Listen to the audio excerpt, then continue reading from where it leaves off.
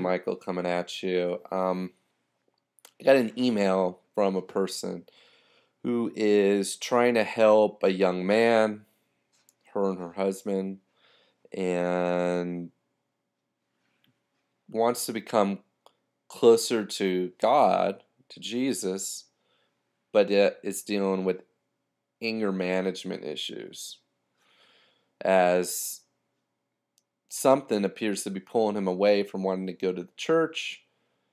And as a result, things have been said to this person's friends that are trying to help him that have created hurt and pain.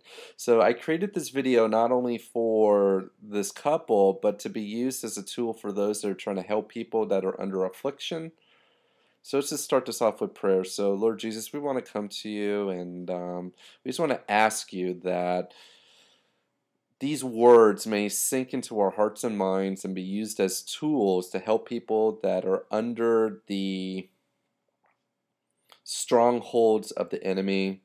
And that way we always remember that we're not supposed to hate the person but the sin, but that we may realize the power and the blood of Jesus Christ as we deliver these individuals from the strongholds of their lives and bring them into a new place of healing, which is in your body of the church. And we thank you in advance for these things. And we pray these things in the name of our Lord Jesus Christ. Amen. So this is a big one. I mean, first of all, we have to realize that our entire existence on this planet is about the gospel.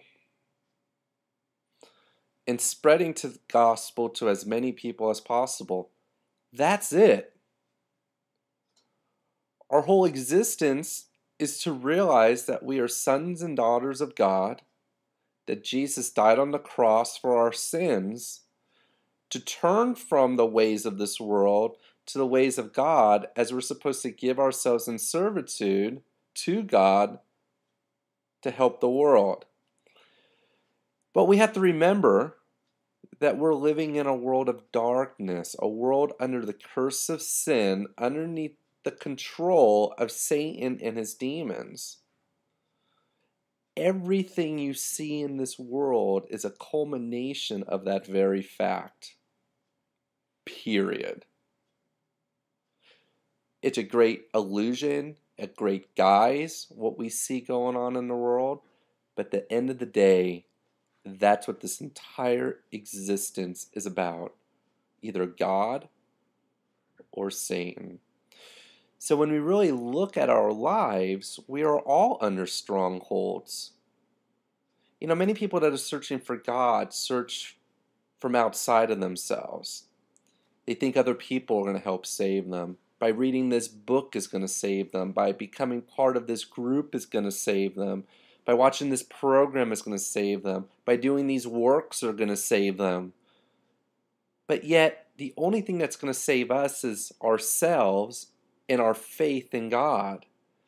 Everything we would ever want to have to live the life of our dreams is within this body as we deal with the strongholds of our minds that are under the control of the flesh and sin, that's almost like an antenna that's receiving input from the darkness of this world to continue to be of this world, of the flesh of the ground. And taking that journey from your mind into your heart, because within your heart is where Jesus wants to live through the Holy Spirit. So everything we need to do is within ourselves but we live in a society that we want the latest cars, we want the latest house, we want the latest clothes, we want the latest jobs, all these things that are just layers within our life that mask the hurt that we have inside. But yet, not many of us want to go deep inside because we realize the deeper we go inside within our hearts to deal with this pain that we have suffered all of our lives because of this world of darkness that that's going to be difficult, but yet that's what we must do.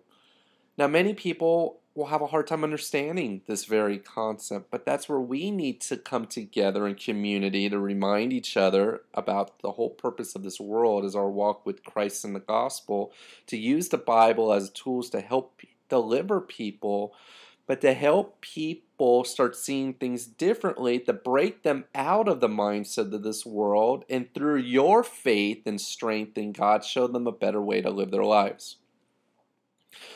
So when we're dealing with people with afflictions, first of all, we got to realize this person may freak out on a number of different extremes very subtle outlashing or very severe physical violence or whatever it may be, whatever the affliction may be anger, drugs, alcohol, sexual addictions, whatever the vice may be. But the way we deal with it is always the same. And the first thing we have to do as disciples, you and I, is we mustn't allow that person to trigger our emotions on our buttons. It's the first thing that happens. People trigger us, we react, and our pain bodies and their pain bodies start feeding off of each other. You can't have that happen. You need to go into prayer and ask the Lord through His precious blood to anoint you and to protect you and to put a hedge around you, and that no matter what happens when you try to help this person, you won't get affected. That's number one. Number two, you got to start praying for that person. Prayer is, po- is very powerful, not only possible, but powerful. And when you pray through the blood of Jesus Christ to anoint that person's life, to lay hands on that person, slowly the devil will go away in his temptations. And more and more, that person is going to be receptive to what it is that you need to feed within them. But we mustn't come from anger when we're frustrated that these people aren't learning the lessons in their lives. We mustn't come from a position of judgment, but we got to realize that nothing's going to happen overnight and it's going to be the slow seeds that happen and gradually grow inside that become the people that we wish to see.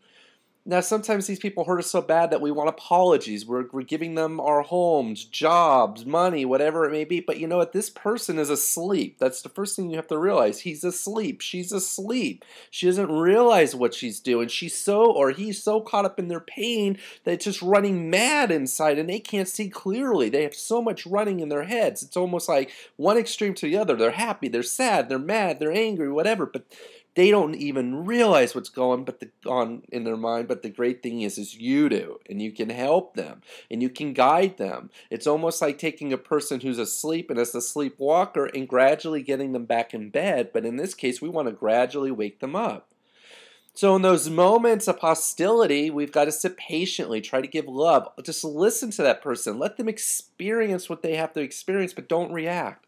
Just listen and let it dissipate but when you have the opportunity to help that person in a much better time, perhaps in this case with this lady, perhaps your husband should say, Hey, let's go to lunch. And next thing you know, you go to a local church. Who cares if it's Catholic, Lutheran, Protestant?